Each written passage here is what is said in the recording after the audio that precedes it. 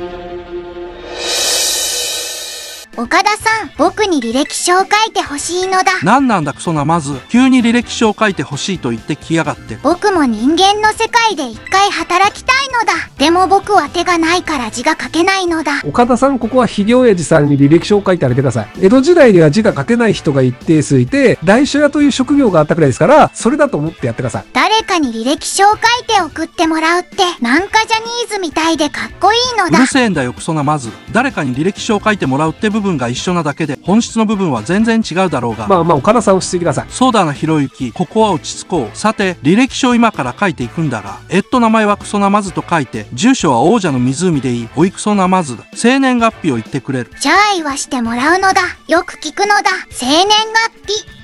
黙れクソなまず、生年月日を言ってくれと聞いて、生年月日という言葉を言ってほしいわけねえだろうが、そんなわかりやすいボケしてくるんじゃねえよ。それになんなんだ？最後のおの言い方は。囁いた感じで言ってくるんじゃねえよ。お前後でぶち殺すからな。殺すハードルが異常に低い殺人鬼の岡田さんは置いといてですね、こちらの選出は鉄の武人を最初に、裏にはヒゲ親父さんと海流とします。それでは対戦よろしくお願いします。さて、相手の最初のポケモンはパオジアンでしたね。これは鉄の武人がブーストエナジーを発動して上から行動できるので、相手のパオジアンに対面勝てます。とりあえずここはソウルクラッシュした後に影打ちで突破していきましょう。さて、本日はヒゲ親父さんを紹介していくんですけど、今回のヒゲ親父さんの方は眠るに寝言に加えて、ウェーブタックルに地割れなんですよね。レギュレーション D に入って浮いてるポケモンが増えるかと思ったんですけど、ランドロスにサンダーも数を減らしてきているので、そこまで浮いたポケモンが気にならなくなってきたので、地割れを採用しましたね。いやひろゆき、クソなまずには地割れを採用しない方がいい。というのもだが、あいつの本来強いところは、あくびに守るで対面操作ができるところにある。ウェーブタックルは確定として、残りの一つの技はボディプレスや雪なだれに、地震やヘビーボンバーなどを他のポケモンとの兼ね合いで入れるのが、こいつの使い方としては強い。いや、岡田さん、その使い方は中途半端になり下がるんですよね。というのも昔と違って、あくびの一環というのはサフゴやこのヨザルに巨人音といったポケモンで簡単に切れるわけじゃないですか。なので対面操作が簡単にできるわけじゃないですよね。ってなるとですね、相手がポケモンを交代するときに、ヒゲ親父さんで地割れを打つ方が勝利に大きく近づく明白ですよね。それに必然光っているパオジアンの型の奥に絶対レードが採用されていたのを岡田さんはご存知ないんですかね？おいひろゆき、パオジアンが絶対レードを採用するのと、クソナマズが地割れを打つのはわけが違うじゃねえか。えっと、岡田さん一体何が違うとでも言うんですかね？同じ一撃技に違いなんてないんですよね。あの、岡田さんはポケモン対戦を勉強し直した方がいいと思うんですよね。黙れひろゆき。そもそも絶対レードは地割れよりも無効にされるタイプがないから強い。それにパオジアンはクソナマズと違って、上から絶対レードを当てれるから強いに決まっているだろうが、このフェリクツインキャフランス代表が、一撃技について議論をしている中年おじさんと老年じじいは置いといてですね、相手の海流はテラスタルを切ってきて、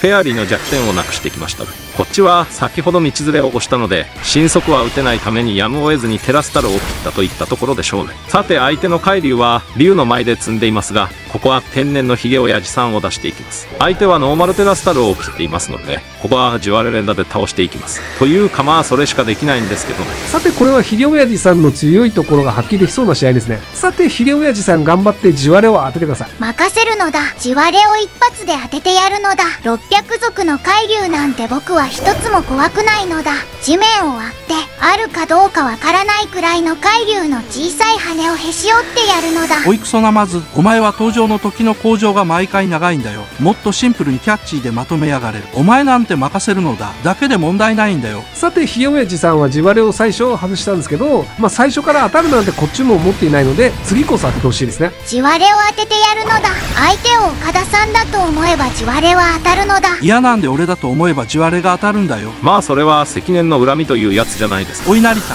ぼそっと囁くように言ってくるんじゃねえよ。さて、ヒゲ親父さんの地割れが当たったんですけど、ヒゲ親父さんに地割れを採用する理由として、単純に試行回数が多いからなんですよね。この物理耐久力がバカみたいにやるおかげで、同じ一撃技を持っているパオジアンやドドゲさんに比べて、倍以上の回数が打てるところが強いところなんですね。あと、地割れを採用するんでしたら、眠ると寝言セットだと個人的には思いますね。やはり HP が削られた後の眠るで回復するというのは、対戦相手に絶望を与えることができますからね。この相手のサーフゴーくんは手強いのだ。さすがに特殊ダメージは受けきれないのだ。ダメージを与えても自己再生で回復されると思うからちょっとこの対面は勝てないのだ。欲張るんじゃない。クソなまず。お前はテラスタルを切った海竜を倒したことで役割としては遂行している。あとはこっちの海竜の地震で倒せる HP まで削っておけば大丈夫だ。それに相手の最後のポケモンのパオジアンの残り HP は1だからこっちの海竜の神速で勝てる。さて先ほどからヒゲ親父さんのテラスタルが虫ということに気になったのは私だけではないと思うのですがこのヘイラッシャことヒゲ親父さんのテラスタルはフェアリの方が逆鱗でゴリ押ししてくるドラゴン技を無効にすることやパオジアンの噛み砕くなどを半減で受けられるフェアリの方が優秀だと感じるんですよねいや、成田さん言いたいことは分からなくはないんですけど、鋼タイプが弱点になるので結構きついですよね。サーフゴーのゴールドラッシュにヒードランのラスターカノン、